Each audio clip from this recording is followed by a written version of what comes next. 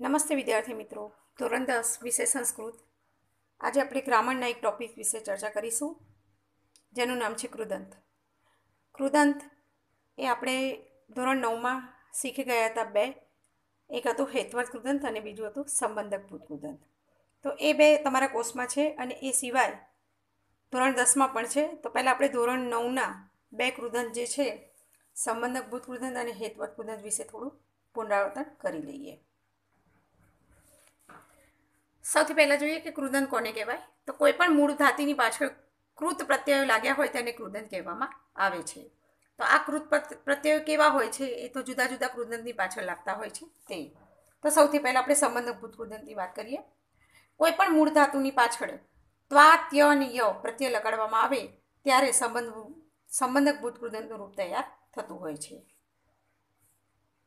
દાખલા તરીકે કૃ વત્તા ત્વા તો કૃત્વા ભૂ વત્તા ત્વા તો ભૂત્વા પા વત્તા ત્વા તો પીત્વા ખાદ વત્તા ત્વા તો ખાદિત્વા ગમ વત્તા ત્વા તો ગત્વા અને દા વત્તા ત્વા- તો દત્વા. તો આ રીતે ત્વા પ્રત્યે લાગે ત્યારે સંબંધક ભૂતકૃદન તૈયાર થતું હોય છે. એ સિવાય ત્વા, ત્ય અને ય ય, ત્ય અને ય પ્રત્યયથી પણ સંબંધક ભૂતકૃદન બને છે. તો એમાં સીધો જ પ્રત્યય ઉમેરાય છે, ઈ ધ્વનિ ઉમેરાય અને ધાતુના મૂળ રૂપમાં પરિવર્તન થાય છે. તો એ કેવું છે? તો આપણે એનું ઉદાહરણ જોઈ લઈએ. તો આ વિશે જોઈ લીધું. તો ત્ય અને યનો કેવી રીતના પ્રત્યય લાગે છે તે જોઈએ. જો, મૂળ ધાતુ પહેલાં ઉપસર્ગ લાગેલો હોય તો કૃદંતનું રૂપ બનાવતા પહેલાં ય પ્રત્યય લગાડવામાં આવે છે. ક્યારેક આ ત્ય પ્રત્યય પણ લાગે છે. તો આ ઉપસર્ગ કેટલા હોય છે? ઉપસર્ગ આમ તો બાવીસ પ્રકારના હોય છે. પણ આપણે વધારે જે વપરાતા હોય છે તે જોઈએ. તો પ્ર, પરા, નિસ, દૂર, દુસ, આ, વી અ, અધિ, પ્રતિ ઉપ દુ વગેરે. આ બધા ઉપસર્ગ છે. તે ઉપસર્ગ આવે ત્યારે ય પ્રત્યે લગાડવામાં આવે છે. ધારો કે અનુ વત્તા ભૂલ, તો અનુભૂય તો અનુ એ ઉપસર્ગ છે.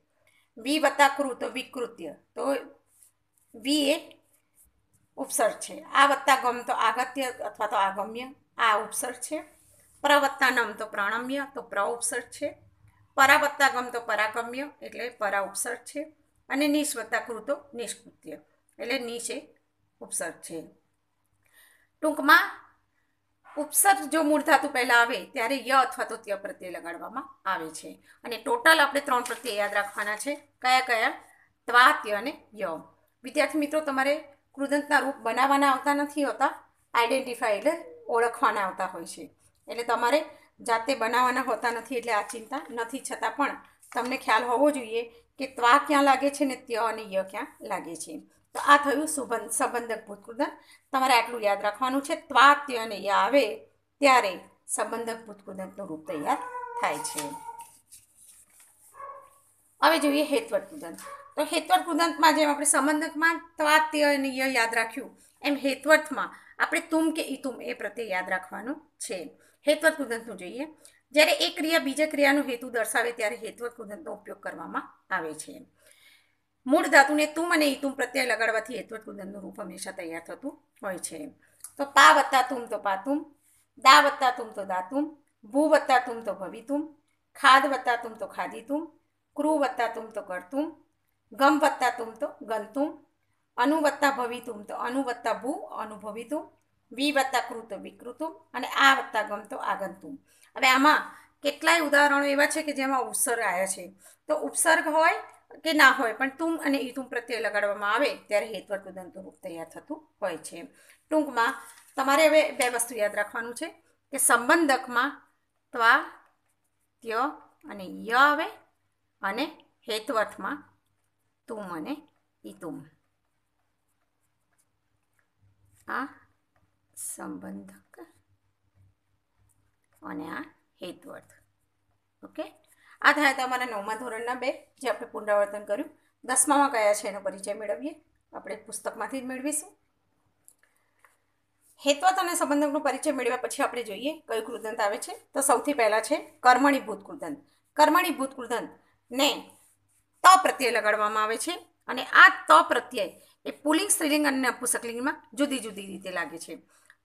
પુલિંગમાં તહ તરીકે લાગે છે, સ્ત્રીલિંગમાં તા તરીકે અને નપુસકલિંગના તમ તરીકે. એટલે તમારે આટલું યાદ રાખવાનું કે કર્મણી ભૂતકૃધન જ્યારે પણ આવે, ત્યારે તમારે તની પાછળ કાં તો વિસર્ગ હશે, કાં તો તા હશે, કાં તો તમ હશે.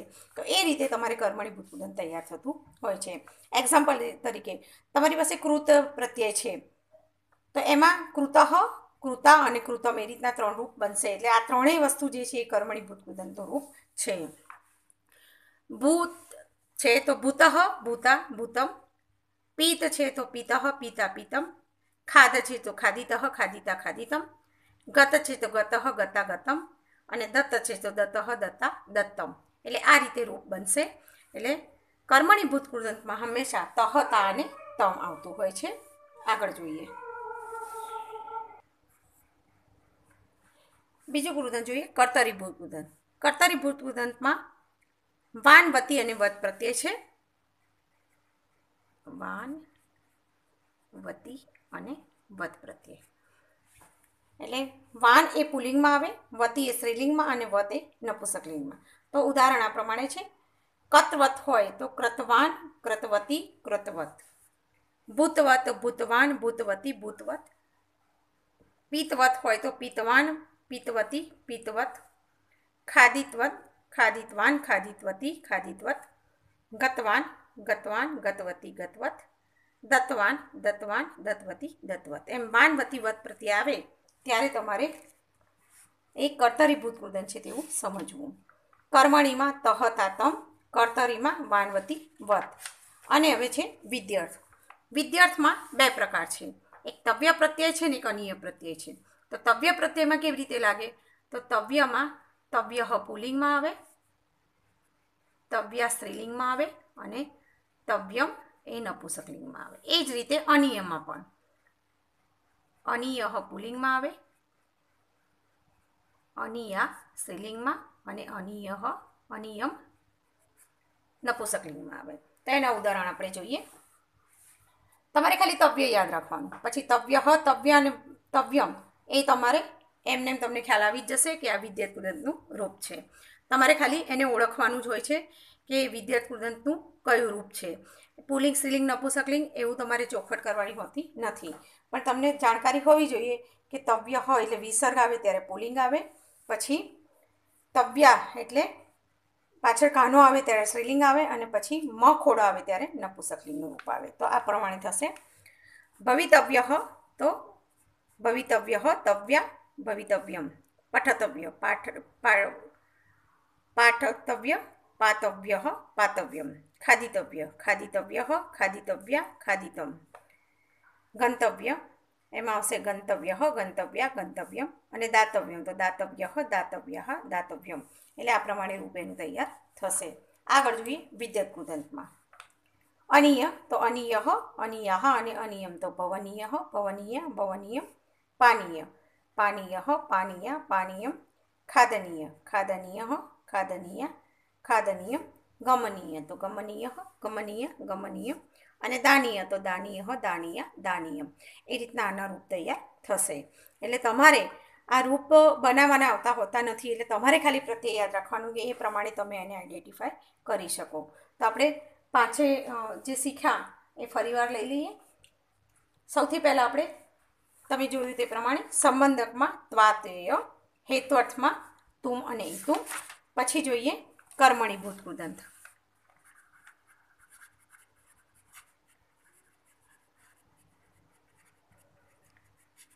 એમાં તમારે આવશે તહ તા અને તમ. પછી છે કર્તરી ભૂતકૃદંત કર્તરી ભૂતકૃદંત એમાં બાન વતી અને વત આવશે. પછી થયા વિદ્યર્થ. વિદ્યર્થ કૃદંતમાં આવશે. તમારે બે છે. એક તવ્યવાળું અને એક અનિયવાળું તો તવ્યમાં તવ્ય હ, તવ્યા તવ્યમ અને અનિયમાં અનિય હ, અનિયા અને અનિયમ. બસ, આટલું યાદ રાખશો એટલે તમારું આ કૃદંતના રૂપનો જે પ્રશ્ન છે એ તમારે રોકડામાં આવી જશે. ફરી એકવાર આપણે રિપીટ કરી દઈએ. હેત્વત કૃદંત ત્વાત્યય સોરી સંબંધ કૃદંત ત્વાત્યય હેત્વટ તુમ ઈતુમ કર્મણીભૂત કૃદંત તહ તાતમ કર્તરી, માનવતીવત, વિદ્યાર્થમાં તવ્યમાં તવ્ય તવ્યા તવ્યમ અને અનિયમાં અનિય અનિય, અનિયમ. આ રીતે તમારા કૃદંતના થશે. હવે આપણે પાના નંબર એકસો સત્તર ઉપર. સ્વાધ્યાય છે તે કરી લઈએ. સૌથી પહેલો પ્રશ્ન છે કૃદંતનો પ્રકાર લખવાનો છે. પઠનીયમ, ઈયમ આવ્યું, એટલે તુમ અને ઇતમવાળું છે. ઈયમ, અનિયવાળું છે, એટલે અહીંયા વિદ્યત કૃદંત આવશે. પછી દાનિયહ યહ આવ્યું, એટલે આ પણ વિદ્યત કૃદંત આવશે. રક્ષિત તહ આવ્યું એટલે આપણે આપણે જોયું તે પ્રમાણે કર્મણીભૂત કૃદંત આવશે. પછી ગંતવ્ય તવ્ય આવ્યું એટલે આ વિદ્યત કૃદંત આવશે. વિદ્યત કૃદંતનું વચન લખવાનું છે. સ્થાતવ્યમ, તવ્યમ આવ્યું એટલે વિદ્યત કૃદંત. પાનીયમ, અનિય આવ્યું એટલે એ પણ વિદ્યત કૃદંત. પરિચય તુમ તુમ આવ્યું એટલે હેત્વર્થ કૃદંત. ઈયમ હશે નિયમ આવ્યું એટલે તું મને ઈતું અનિયમ એટલે અહીંયા આવશે વિદ્યત લિખિતા, તા તા પ્રત્યે આવ્યો એટલે તહ તાતમ એટલે કર્મણી. આ કર્મણી ભૂત કૃદંત આવશે. અને તવ્યા, દ્રષ્ટવ્યા, તવ્ય આવ્યું એટલે વિદ્યત કૃદંત આવશે. એટલે આ પ્રમાણે તમારે પરીક્ષામાં આઈડેન્ટિફાઈ જ કરવાના છે કે ધારો કે દાનીય આપ્યું છે અને નીચે તમારે ત્રણ વિકલ્પ આપ્યા હશે કે વિદ્યાર્થ કૃદંત કર્તરીભૂત કૃદંત કે સંબંધકભૂત કૃદંત તો તમારે એમાંથી સિલેક્ટ કરવાનું રહેશે. પાછળ પાછળ પ્રશ્ન ચાર અને પ્રશ્ન પાંચ જે છે એ પ્રમાણેનો પૂછાતો નથી. પણ પ્રશ્ન ત્રણ છે આપણે ફરીવાર જોઈ લઈએ. ગંતવ્યમ. તવ્યમ આવ્યું એટલે તમને ખ્યાલ છે? તવ્ય એટલે વિદ્યાર્થ. પછી કૃતા. તા આવ્યું એટલે કર્મણી. ભૂત એટલે એ પણ કર્મણી. અનિય આવ્યું એટલે વિદ્યાર્થ. તવ્યમ આવ્યું એટલે વિદ્યાર્થ. અને પ્રવેષ્ટિયમાં એ પણ વિદ્યાર્થ આ રીતના વિદ્યુત કૃદંત થશે. કૃદંત અમે અહીંયા આપણે પૂર્ણ કરીએ છીએ. આ છવાનું ખાલી તમારે યાદ રાખવાનું છે કે જેના કારણે તમને માર્ક્સ રોકડા મળી જાય. તો ફરી એકવાર આપણે જોઈ લઈએ. સંબંધકમાં ત્વાત્યય, હેત્વટમાં તું ઈતું, કર્મણીભૂત કૃદંતમાં તહતાતમ તાતમ કર્તરીભૂત કૃદંતમાં વાનવતીવત, વિદ્યાત કૃદંતમાં તવ્ય તવ્યા તવ્યમ અનિહ અનિય અનિયમ આટલું મોડે કરશો એટલે તમારા કૃદંતના પ્રશ્નોના માર્ક તમને મળી જશે. આમ, આ બે સ્ટાન્ડર્ડ નાઇનના અને આ છે બંને સ્ટાન્ડર્ડ ટેનના. એમ કરીને ટોટલ પાંચ કૃદંત તમારે પરીક્ષામાં છે. સરસ રીતે પ્રત્યય મોડે કરી દેજો. એટલે પરીક્ષામાં જ્યારે પણ પૂછાય તો તમને સાચા જવાબ મળી જાય. વિદ્યાર્થી મિત્રો, ઓલ ધ બેસ્ટ.